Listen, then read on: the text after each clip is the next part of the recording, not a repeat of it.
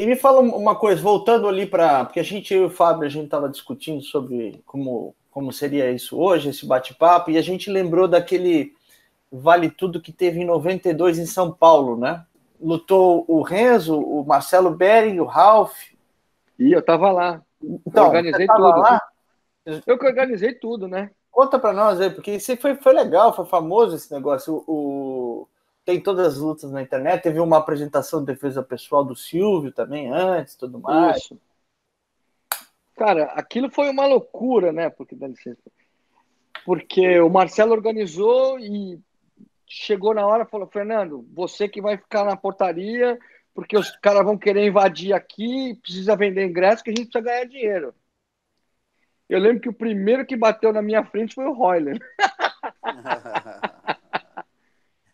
Ó, oh, o Marcelo mandou na internet, meu irmão, tu não sabe quem eu sou? Eu falei, eu sei, mas, cara, eu tenho ordem do meu mestre, eu não posso fazer nada. Meu irmão, sai da frente. Aí, a hora que eu, o meu irmão saiu da frente, entraram 20. Assim foi aquela organização. Ô, ô, ô, Fernando, foi lá no. Foi no. Mauro Pinheiro. No Mauro Pinheiro, né? No Ibirapuera, é, ali, né? Ibirapuera. Então, porque eu tinha os caras que eram do, do Kung Fu que davam aula na treine. E aí começou a surgir esse papo de vale tudo, de vale tudo.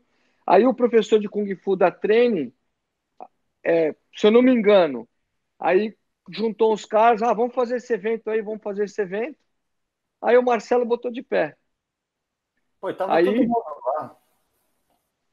É, então, porque na época não tinha, acho que houve uma proibição, né? Aí, em 91, teve aquele Vale Tudo no, no, no Rio de Janeiro, onde lutou Murilo Bustamante, Fábio Gurgel e o Valide. Sim, Valide, o pessoal da luta livre, né? Isso.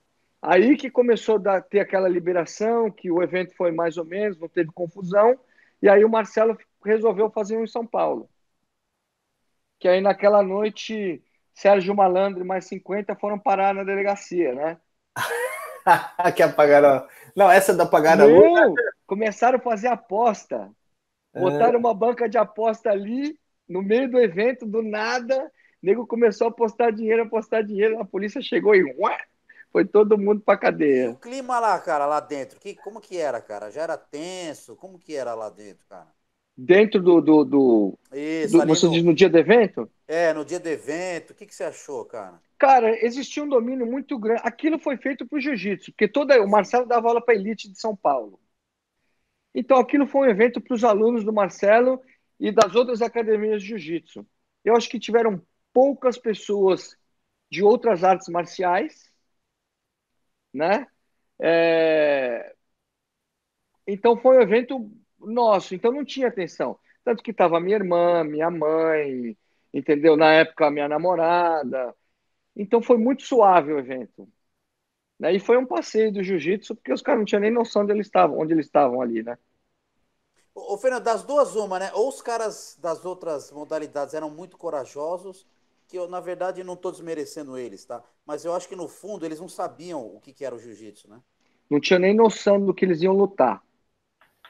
Né? O Marcelo, o Marcelo era tão maluco que ele levou os caras também na academia e falou: meu irmão, ó, o jiu-jitsu é isso aqui, ó, nós vamos fazer isso aqui e tal, vamos botar, tentar botar vocês para baixo, e aí cuidado com chave de braço, estrangulamento, se tu quiser, tu bate. Olha a maluquice do Marcelo. Aí eu falei, mas Marcelo, você tá entregando... Ainda. Avisou Marcelo... que ia fazer... Não, Fernando, senão é muita covardia, bicho. Senão os caras vão apanhar e não vai durar 10 segundos. Precisa durar um pouquinho para o público ver. Fala pessoal, meu nome é Fábio Kiyotakawa, sou professor de Jiu-Jitsu, pesquisador da história do Jiu-Jitsu Vale Tudo MMA e também dirigi vários documentários sobre esse tema. Estou aqui para convidar vocês para participar do meu curso da história do Jiu-Jitsu e MMA. Você que é fã de artes marciais, é praticante e acha que é muito mais importante é, os aspectos filosóficos de transformação que a arte marcial pode trazer, esse curso é ideal para você.